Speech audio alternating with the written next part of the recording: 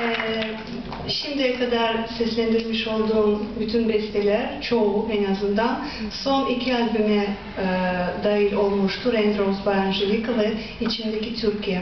Yalnızca şimdi seslendireceğim beste henüz hiçbir e, albüme girmedi. Onun da ilginç ve sıra dışı bir hikayesi var. Sizlerle paylaşmadan edemeyeceğim. Şöyle ki e, iki ya da üç yıl önce e, telefon çalmıştı bir akşam ve benden bir reklam müziği yapmamı istediler. Olur dedim. Konu nedir acaba? Konu yeni piyasaya çıkacak olan şampuan. Hadi bakalım. Hiç öyle bir şey şimdiye kadar yapmadım dedim ama e, e, enteresan geldi olabilir. Böyle baloncuklu, ilginç, bembeyaz bir şey. İçimde böyle bir kıpırtı başladı. Telefonu kapattığım anda piyanoya yöneldim ve o beste çıktı. Ertesi sabah maalesef tam kri- kriz zamanı telefon geldi. Angelika Hanım çok özür dileriz. Umarız ki henüz yorma, yormadınız kendinizi. Çünkü reklam iptal oldu. Sponsorlar e, çekildi ve e, bu olmuyor. Ama kaldı beste elimde. İsmi de şampuan. Besteyi de çok sevdim. Çok neşeli, hoş bir şey oldu. Ama isimsiz hiçbir yere de gidemem böyle bir besteyle. Konserlerde nasıl çalacağım. Ve e, e, e, ondan sonraki konserlerde böyle bir e, ricam oldu dinleyicilere. Hikayesini kesinlikle anlatmadan dedim ki böyle bir beste var isimsiz. İsim babası aranıyor. Lütfen bana dinledikten sonra tekliflerinizi sunun. Ben en uygun olanını besteme isim olarak koyarım. Ve e, yüzlerce isim geldi. Onlardan bir tanesi çok hoşuma gitti. Yarınlar. Hakikaten e, dinlediğiniz zaman bence anlarsınız.